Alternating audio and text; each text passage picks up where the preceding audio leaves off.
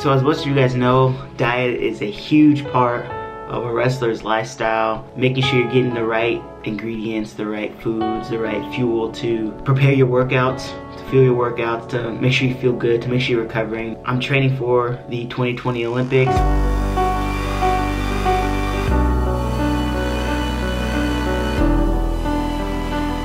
I'm about eight weeks out um, doing a high protein, low carb diet. Uh, this is a really great moment for, for me to, to try to prove to myself that I can shrink my body down and, and make the weight and perform to the best of my ability. Um, I'm hoping that my body fat percentage goes down, my body composition goes down, and I'm hoping that my general like weight, obviously by doing that, goes down also. About 10% hydrated, like around 134, 135. Um, so six out of the six days of the week, I will be having um, no carbs, and then I will have a cheat day where I am able to, to uh, consume some carbs uh, going into the next week. So all of my lifting, all my lift training is going to be dedicated to kind of high intensity where I'm lifting, pulling for muscular endurance. I mean, I guess maybe I am burning some of the muscles a little bit, but not for building, but just for the more the endurance piece of it. So to kind of thin out the muscles a little bit, uh, there's gonna be a lot of conditioning, just move the weight, sweat it out, kind of conditioning. So my current weight right now, after having a whole meal and drinking whatever, you know, all the hydration, is 145. So your boy's not little. The last three weeks I have been lifting pretty heavy and kind of just putting, yeah, putting on some, getting those muscles, I guess. So now I guess it's time to shrink them. Um, I feel like I do have more muscular endurance and such, but the one thing that I haven't seen that much in my time is really kind of discussing the mental um, struggles and mental anxiety and issues and fear that come with uh, the weight cut, which really, really has an, an, effect on performance. So one of the reasons why I am documenting this, um, other than giving up secrets of the trade to be, or so to speak, is because I think that it's important that we kind of nail down some of these topics and just make it a little bit less stigmatized. That's why I love wrestling because wrestling challenges you in so many ways. It challenges you to face your fears and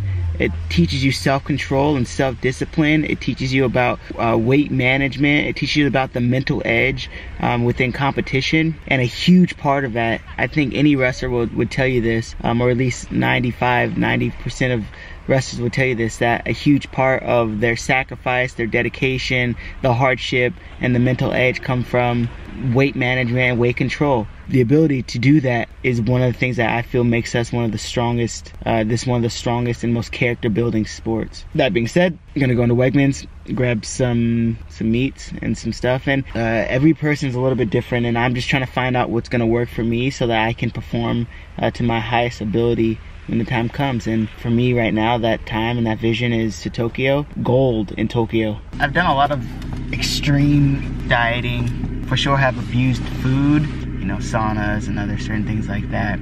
So I'm trying to actually avoid doing all that by uh, sticking to a diet that's going to work for me. Every person, every body is, is different and it's going to react to, to different things in different ways on day one and I've noticed this sense of that fulfillment, that fullness that you get from carbs and that you get from chips and cookies and desserts and those kind of things. That lack of fullness is there. It, it's almost like you're like, oh, that's it. Uh, it keeps you, it gives you the sense of wanting more. So right now I feel like it's more of like a mental thing and like a body adjustment thing than than anything. I would say I have a relatively good diet. I think even with the amount of sugar and with the amount of processed foods and these things can be a lot and therefore can affect you in a greater way too. There it is. Very uncarby. Very uncarby. So for tonight's meal, we are gonna have a little cauliflower. I, uh, I'm using this ghee butter. We're gonna do a little chicken sausage, so we'll see how it turns out. The process right now. Here's my concoction. Beautiful. It is, it tastes delicious. I am legit impressed. She says it's not goulash. So wrong. I'm saying it is goulash. It's my goulash. Here's my snack. This is day two. This morning I'm waking up with some apple cider vinegar, green tea, some water. I'm probably not gonna eat, it's like nine o'clock right now. I'm probably not gonna eat till like after 12 probably. Uh, I'm not super hungry at all. Feel a little bit bloated. To be honest, a little, like a little maybe constipated. Use the restroom, number two, number two. So, and maybe that's the case of, of maybe an additional, um, an enzyme or something to break down the protein. You know what, scratch that. I am looking for it to be easier because that's one less thing I have to think about when it comes to training and when it comes to putting my all my effort into my dream. I'm getting ready to do my first workout. I'm not gonna film it, but we'll see how I feel after it's done. I don't generally work out on Sundays, but uh, this week they just happened to fall on a Sunday. So we're gonna do a little like, uh, just move some stuff around and just get the cardiovascular, that cardiovascular energy up. Uh, fun little conditioning workout. Uh, gonna hit the sauna for maybe like 20 minutes.